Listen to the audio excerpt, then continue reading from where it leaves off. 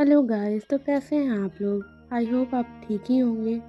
आज मैं कुछ इंटरेस्टिंग सा बनाने वाली हूँ जो कि अनबिलीवेबल होगा।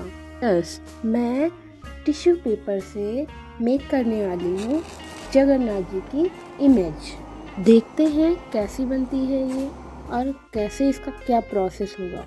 अगर आपको मेरे वीडियो के कंटेंट अच्छे लग रहे हों तो प्लीज़ मेरे वीडियो को लाइक कीजिए।